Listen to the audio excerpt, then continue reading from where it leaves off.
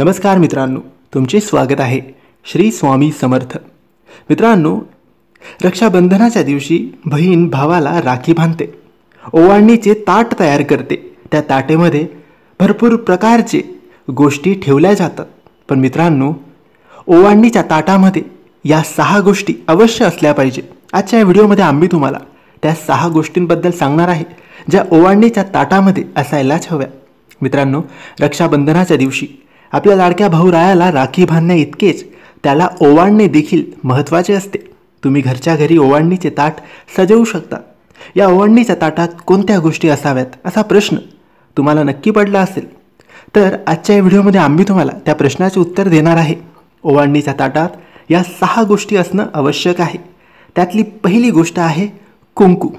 रक्षाबंधनाच्या मुहूर्तावर भावाला ओवाडण्यासाठी जे ताट सजवाल त्यामध्ये कुंकू असणं अत्यंत महत्त्वाचे आहे. कोणत्याही शुभ कार्याची सुरुवात कपाळी टिळा लावून करण्याची पद्धत आहे. त्यामुळे ताटातील कुंकुवानं भावाच्या मातीत टिळा लावणं प्रतिष्ठेचे प्रतीक मानलं जातं. यानंतरची दुसरी गोष्ट आहे ती म्हणजे अक्षता. ओवाडणीच्या ताटात अक्षता म्हणजे तांदूळ असणं तितकंच महत्त्वाचं आहे. अक्षता म्हणजे ज्या अपूर्ण नाहीत ज्या अखंड आहेत त्यामुळे रक्षाबंधनानिमित्त केलेलं पूजन देखील अक्षताप्रमाणे पूर्ण असावे हा त्यामागील अर्थ असतो. तिसरी गोष्ट नारळ. नारळाला श्रीफळ म्हटले जाते.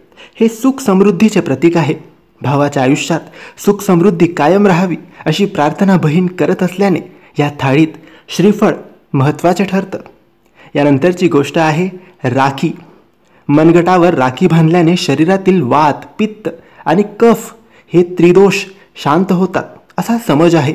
मनगटाच्या नसांवर राखीच्या धाग्याने दाब पडल्याने हे तिन्ही दोष नियंत्रित राहतात असं म्हटलं जातं. आणि राखी बहीण भावाला बांधते कारण हे त्यांच्या नात्याचं प्रतीकसुद्धा मानले जाते.